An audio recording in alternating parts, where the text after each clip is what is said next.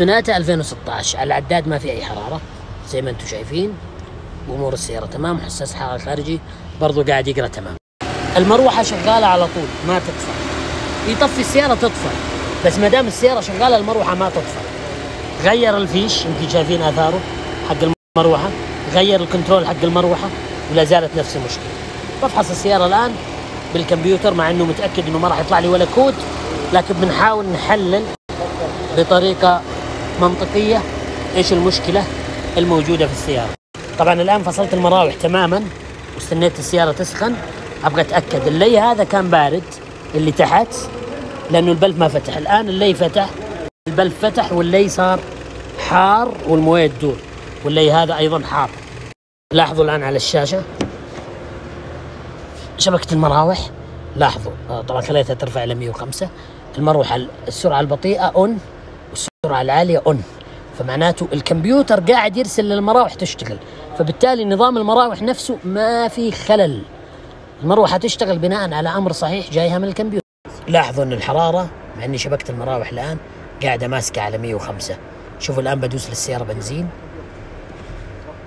بدوس للسيارة بنزين شوف إيش يصير.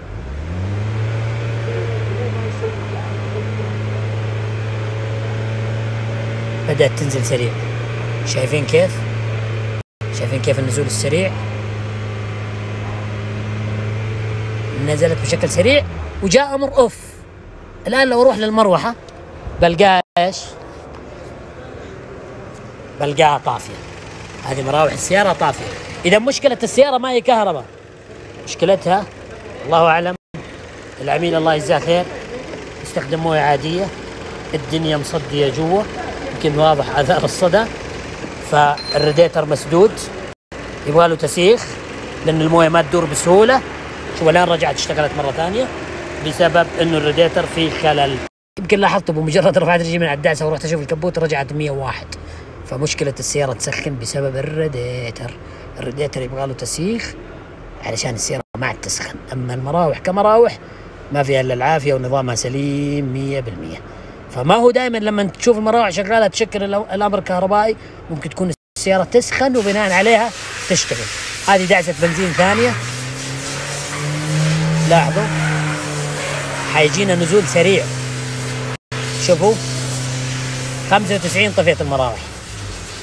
مراوحك سليمة طال عمرك. روح سيخ الراديتر. طبعا ملاحظة مهمة. ترى الحرارة على العداد هنا ما هي قاعدة ترتفع. لأن الارتفاع البسيط هذا بالنسبة للكمبيوتر ما راح يطلع لك إياه على العداد.